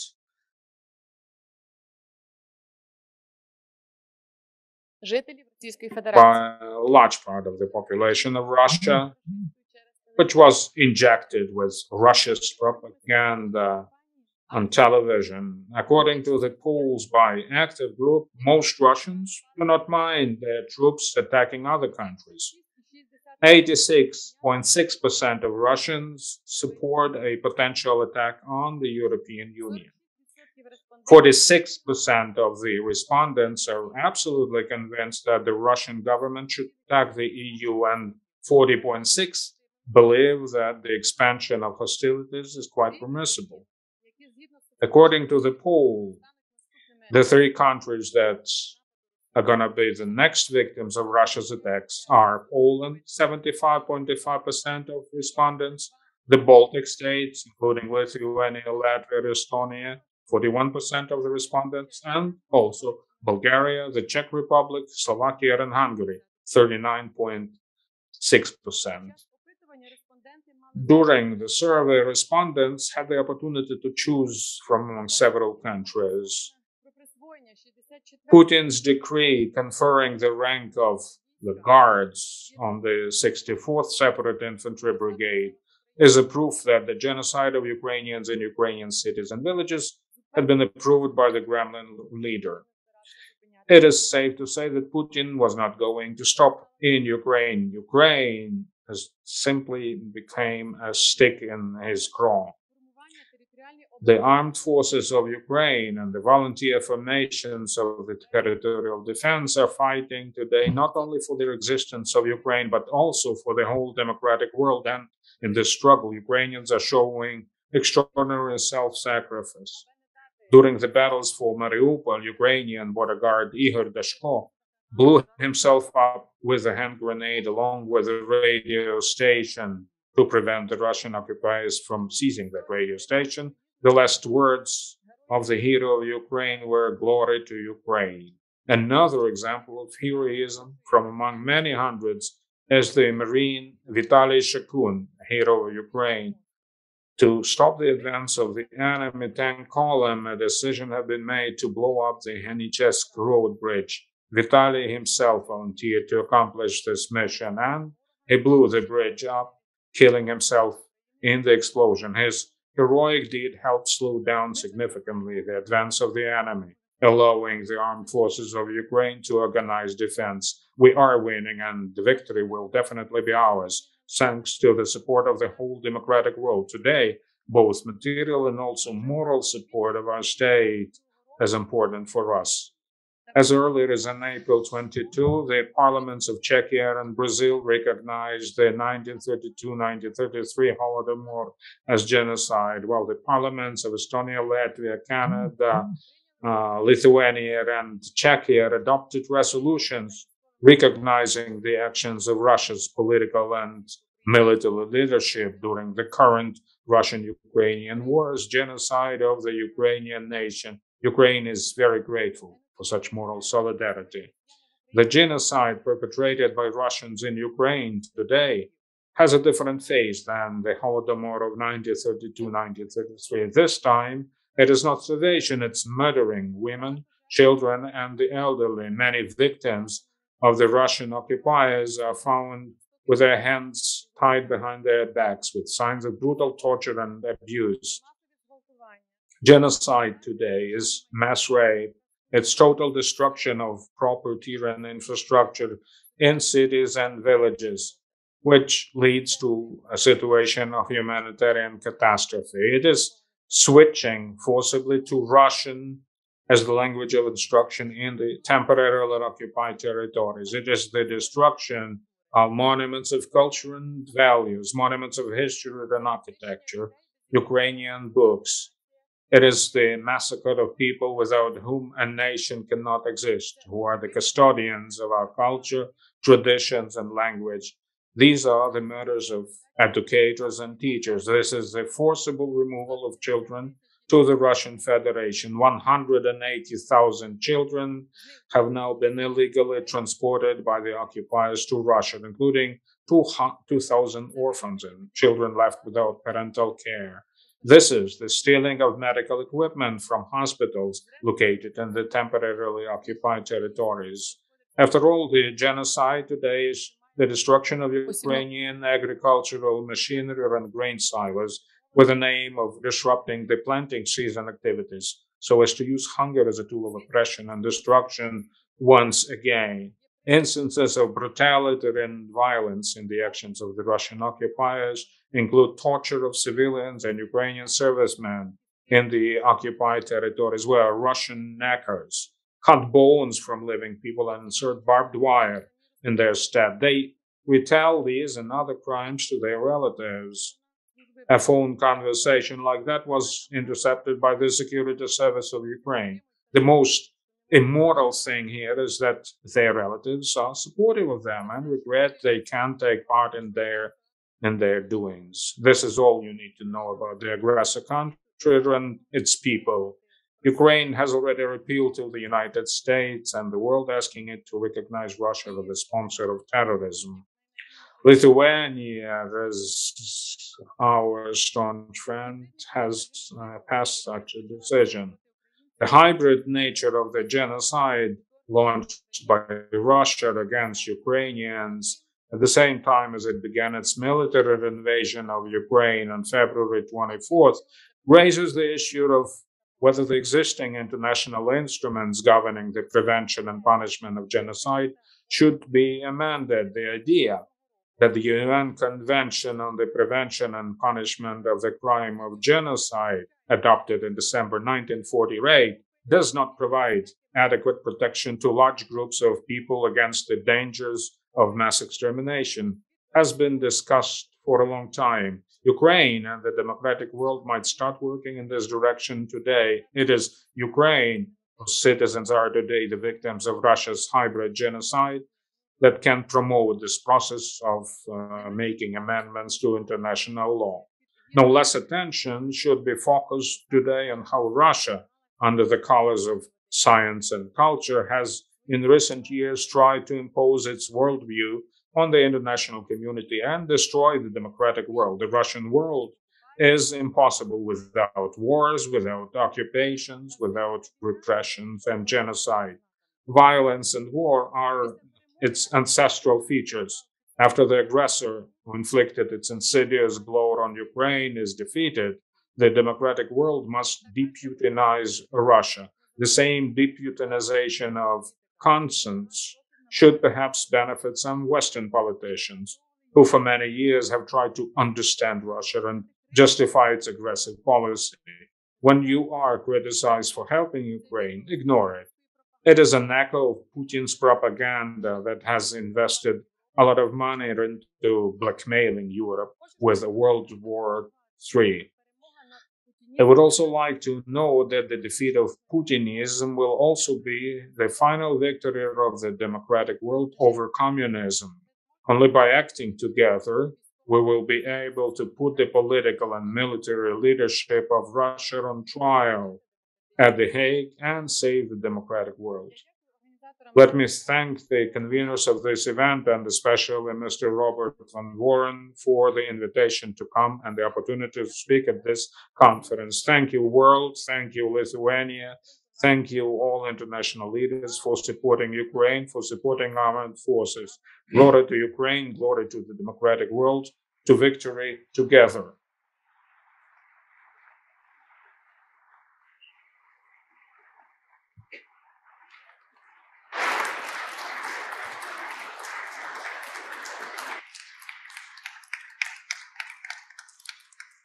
Thank you so much for being with us today, Malaysia. I would like to welcome the next speaker, uh, Mikhail Shishkin, who is one of the most prominent names in contemporary Russian literature. Mikhail Shishkin was born in Moscow, worked as a school teacher and a journalist, and then emigrated in 1995 to Switzerland.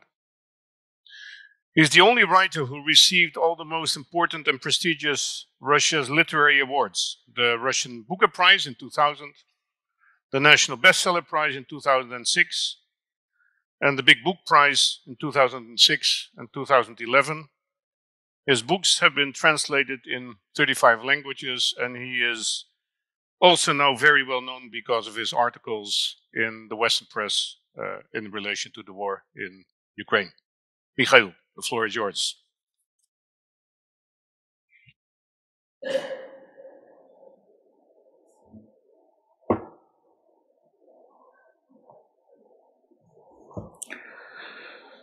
Thank you, Robert, very much for having invited me.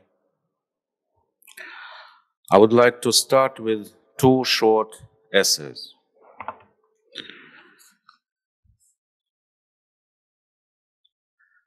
A letter to Europe on demand.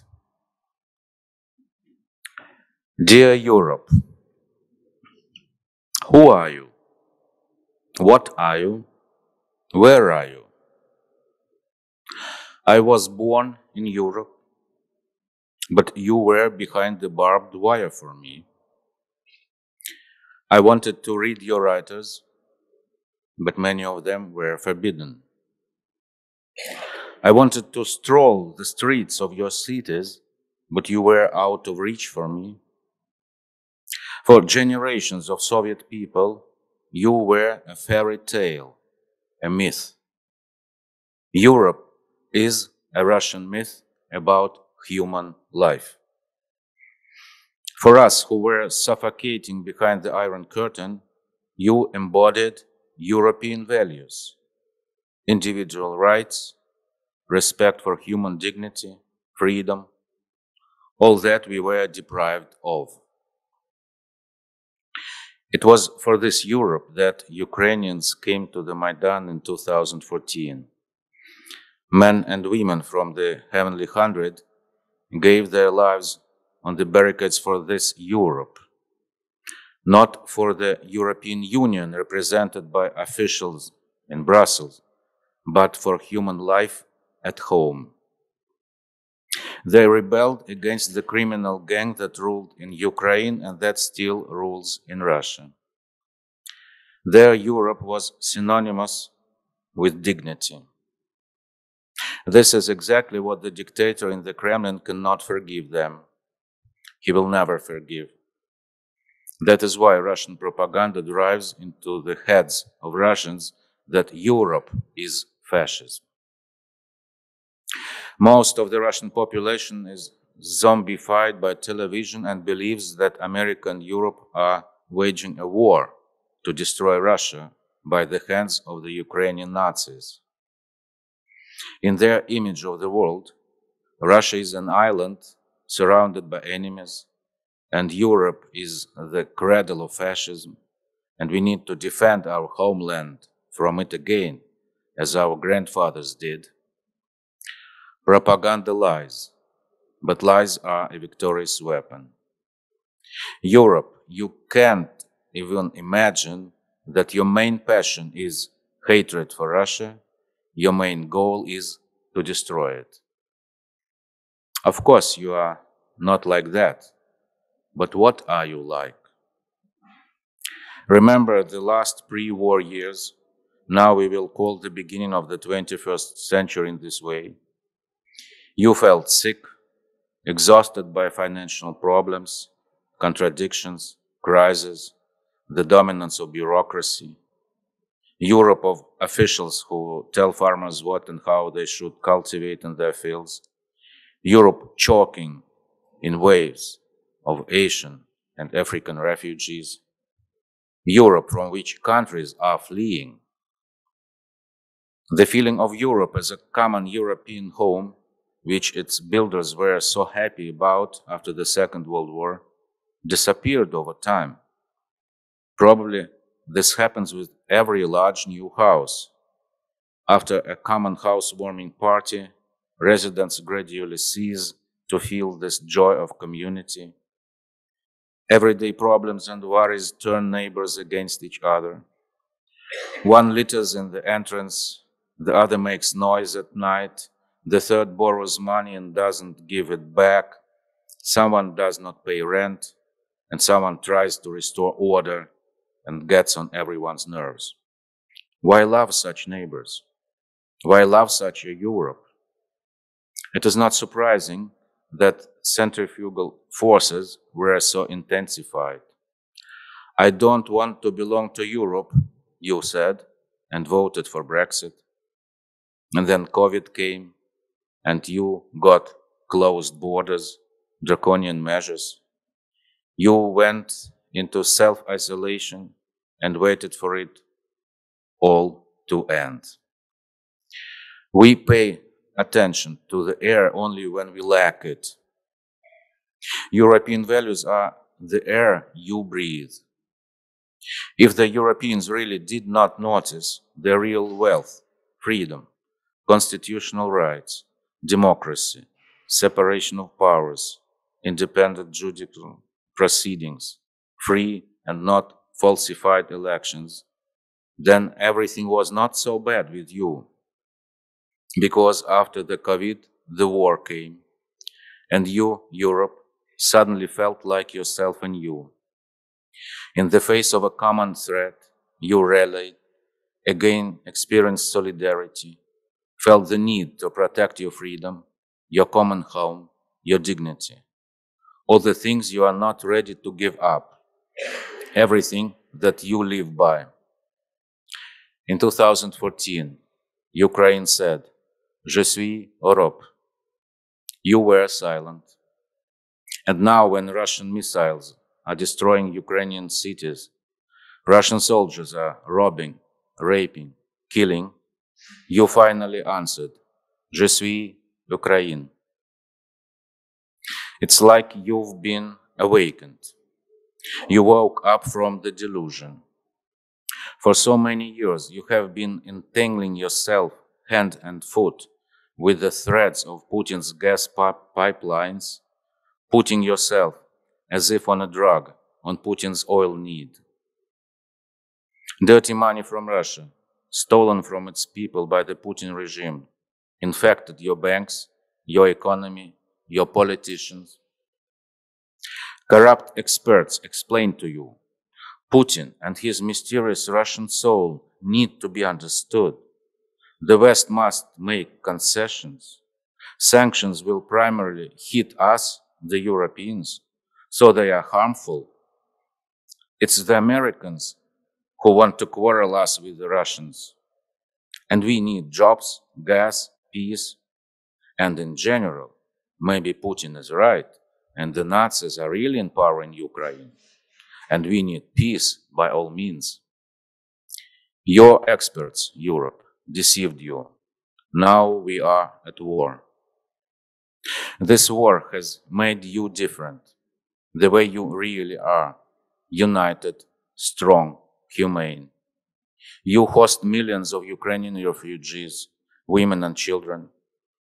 You are turning down the dirty money that the Putin regime is using to finance assassinations. You show solidarity with Ukrainians who are fighting for their freedom and yours, for their future and ours, for the human dignity of Europe and all of humanity. Europe, in these terrible days and weeks, you have become yourself. I see you on the squares of your cities. The people who come out to defend humanity against war have beautiful, amazingly beautiful faces.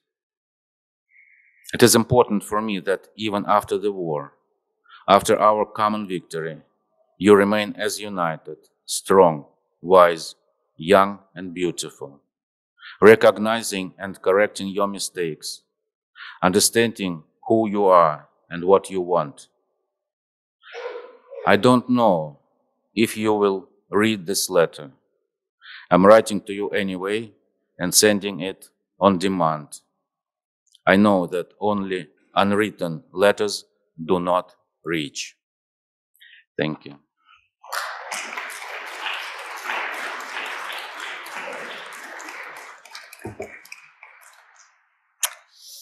Uh, it had been like this for years. When a taxi driver somewhere in the world found out that I was Russian, a joyful smile immediately came. Putin, and thumbs up. I could never understand this love of taxi drivers for Putin.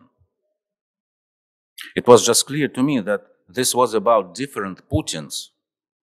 One couldn't love mine. And the taxi driver created Putin in his image, and man became a living soul. Why people hate my Putin is obvious. The KGB agent started the presidential career with the bloody sacrifice of his compatriots. As a pretext for the Chechen war, Muscovites were blown up inside their apartment blocks. Then it went only in one direction till the raid on Ukraine on February 24. But all these years, other Putins have been admired by many people in the world. In the Russian chaos of the 90s, the battered population finally wanted to establish order and see the humiliated fatherland rise from its knees. They hoped for a new ruler with an iron hand. Generations of slaves identified with the size of their empire. Putin promised to heal the national wound. The time of chaos is over, Russia is coming back to the top of the world. The image created by the propaganda of the omnipotent ruler as savior of his people was well received. The evil West wants to destroy us, and only good Tsar can save our Ruski Mir the Russian world. The return of Crimea to Holy Russia did not bring better roads or water pipes or heated toilets in the villages, but it did give the population the opportunity to be proud of their Putin. The key word of Putin's ideology is Ruski Mir. But the word Mir originally meant the Russian village community. The mentality of a medieval village community still shapes the psyche of broad sections of the population in Russia even today. If someone yelled, Nashik bьют, our people are being beaten, they immediately ran off with sticks and pitchforks without considering whether our own were right or not. This is how Putin's propaganda has been screaming for years now. Our people are being beaten in Ukraine. The peculiarity of the village way of thinking also explains why so many Russians living in the West support Putin and his war. Physically, they live in Berlin, Zurich, or Larnaca, but mentally, they live in their Ruski Mir.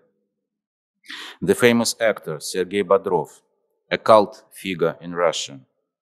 In the box office hit Brother 2, he played a good Russian bandit who comes to America and kills Americans by the dozens.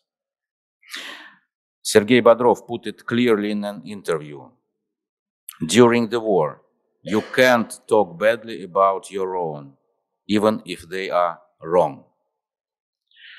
On the planet Ruski Mir, Putin occupied the niche of a good victorious Tsar in the war of the evil West against ours. Now to Putin's niche on planet Earth. I'm not interested in the numerous professional Putin Versteher in the West who earned their bread as Russia experts, as well as the corrupt politicians. Today you are Chancellor of Germany, tomorrow Putin's lackey. But the gratuitous admiration of Putin needs explanation. It's not only on Indian or Latin American online platforms that Putin has been portrayed as a hero who is finally showing the limits of the imperialist United States. Putin spoke from the heart not only of Iranian and North Korean leaders with his famous declaration of war on the USA in Munich in 2007. I quote, a monopolar world that means one power center, one decision making center. This model is unacceptable to the world. It's devastating ultimately for the hegemon itself. The principle, the enemy of my enemy is my friend, united left and right around the world. There were plenty of reasons to love Putin even in Western democracies. The man stands for moral values such as Christianity, protection of the family, the fight against gay marriage and gay parades. He was admired for his demonstrative freedom from any political correctness, for his open anti-wokeness. As the representative of true masculinity, Putin defends the world against the gender madness. The tough guy from the East silently questioned Western society in the cancel culture era. Why should men be ashamed of being men? Why should whites feel burdened with the racist original sin because they are white? For many people, even in democratic countries, his macho behavior seemed impressive. For Brigitte Bardot, Putin was the one who did more for nature and wildlife conservation than all the presidents of France put together. Some were impressed by his muscular, bare-chested pose. And the Swiss journalist and politician Roger Köppel, one of the army of Putin Versteher, summed up the Putin admiration of the world's taxi drivers quotation. Putin exposes the hollow moralism of his opponents and the decadence of the West. The Soviet Secret Service agent with the mysterious Russian soul seems to have been only a reflection of Western longings. Now Putin has disappointed his admirers all over the world. Not a brutal macho in the saddle, but a bloated dwarf hiding behind an infinitely long table. No Western politician has done more for NATO's eastward expansion than Putin. More countries will now push their way into the defense alliance. Instead of saving wild enemies and the climate, he let cities being bombed, women raped, children killed. Moral Christian family values look different. The Ruski Mir is also deeply disappointed. The damn Russian questions. Кто виноват? Who is to blame? Что делать? What to do? Tormented only the intellectuals. For the common people, the most important Russian question was posed differently. Is the Tsar real or fake? Only victories could decide this question. Stalin was real. He is revered to this day. Gorbachev lost both the war in Afghanistan and the Cold War against the West. Gorby was clearly a false tsar and is frowned upon and hated in Russia to this day. With the annexion of Crimea, Putin has legitimized himself as a real tsar in the eyes of the population. But the lack of victory in the Ukrainian campaign drastically undermines its legitimacy. The oppositional patriotic telegram channels with hundreds of thousands of subscribers are already shouting about high treason and demanding victory to the bitter end. The more coffins return to Russia from Ukraine, the louder the outcry. Ours are being beaten. The search for the real Tsar has already begun. They all were disappointed by a specific man because he could not live up to the expectations of his admirers. The man disappears, but his admirers remain with their ideas and expectations. In Russia, deputinization will be carried out by a new Putin with a different name. In the West, even after Putin's disappearance, someone will have to inspire with his macho image and defy US imperialism. Somebody has to stand up against gay marriage, against NATO, against US hegemony. Is people's need for political masculinity curable at all? Putin will disappear. But the longings he projected will not vanish because of this. The actor who played all these Putins on the historical stage failed in every way. The role is now awaiting a new cast. Thank you.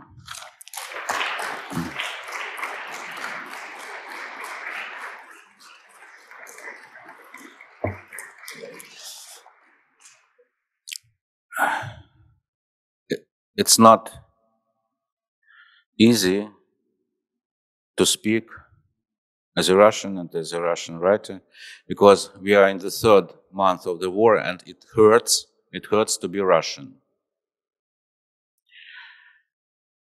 This, the aim, the declared aim of this special operation was to save Russians, to save Russian culture, to save Russian language. In the name of the whole country, in the name of my people, in my name, horrible crimes, horrible crimes are committed in Ukraine. My father was Russian, my mom was Ukrainian. And they died many years ago, and I'm happy that they died because it would be as impossible for them to to see the, this tragedy, to see this catastrophe. And Putin committed horrible crime against my language. Now Russian is associated not, not with uh, Russian literature, not with Putin, not, not with Pushkin, yeah, not with Tolstoy, but with the pictures in Bucha.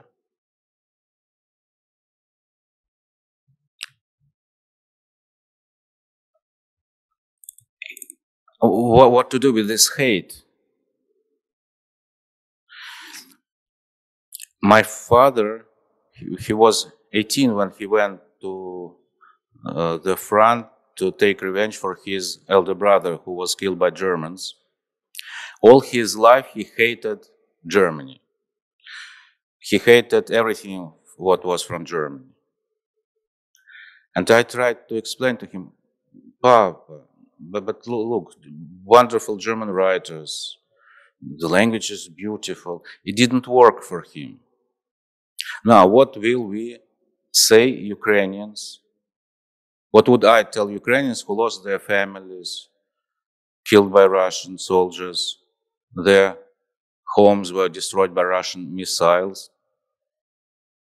That the Russian literature is great, that Russian language is beautiful. Would it work? When a war starts, culture is always loser. Yeah. Great German literature couldn't save Germany from Auschwitz. Great Russian literature couldn't save Russia from Gulag. My books, books of my colleagues which were published in the last 20, 30 years, could they stop this war? Literature is loser. Culture is loser. Maybe after the war, after the war, there, there will be so much hate and pain. There will be just abyss between Russians and Ukrainians. Maybe after the war, literature could help because the hate is the disease and the only medicine is culture. I'm sure there will be, uh, after every war, people write books. It was with Remarque, it was with Hemingway. I'm sure now in Ukraine, young Ukrainian soldiers who are fighting there, and also young Russian soldiers, maybe they don't know that they are future writers. But I'm sure after the war, some of them will start to write because they will have to do something with their experience, with this horrible experience. And there will be great, I'm sure there will be great books about death, about pain, about hatred. And they will, will have two different ways of new literature. Ukrainian writers will write about the establishment of a new free democratic state and fighting for it, fighting for dignity. And Russians will try to ask the question, how was it possible that we are fascists? Why we are fascists? I'm, I'm very optimistic for Ukraine. After the war, the whole world would help Ukraine to, to rebuild Ukrainian cities. I'm very pessimistic for Russia.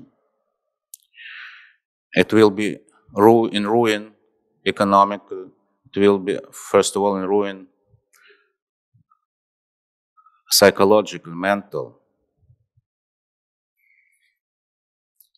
How would they understand that they have to take this national guilt. We, we, remember this falling on the knees by German Chancellor Willy Brandt in Warsaw.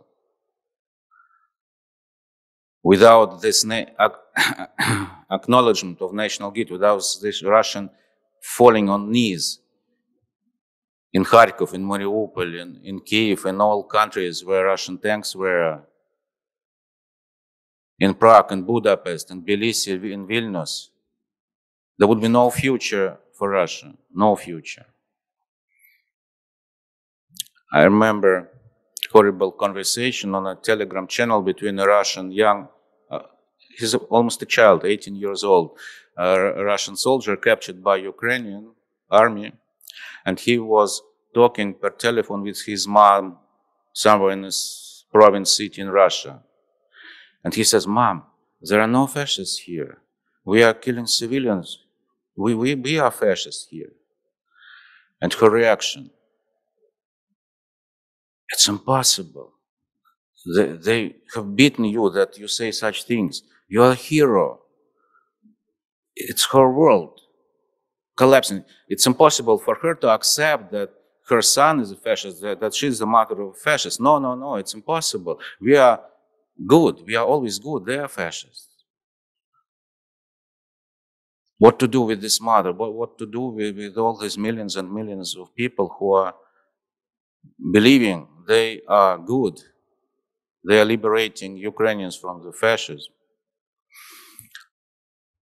And after the Second World War, the Germans said, yeah, it turned out that Hitler was a war criminal, a crazy guy. But we didn't know anything.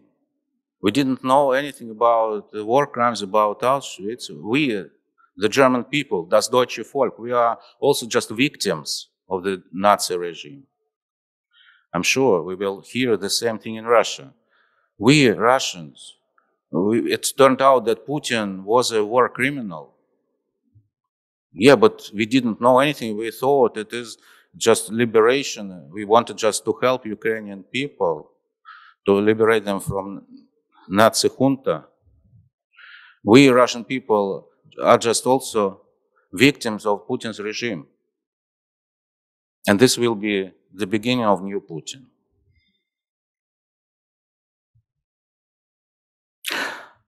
I don't know how to end my speech in more optimistic way. Thank you very much.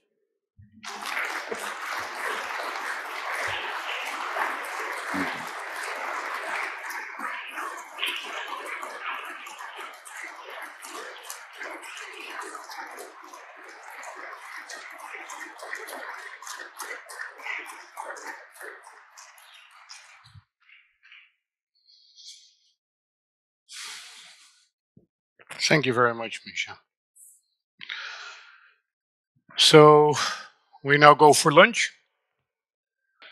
So we will be back here at uh, 1.30. Thank you very much.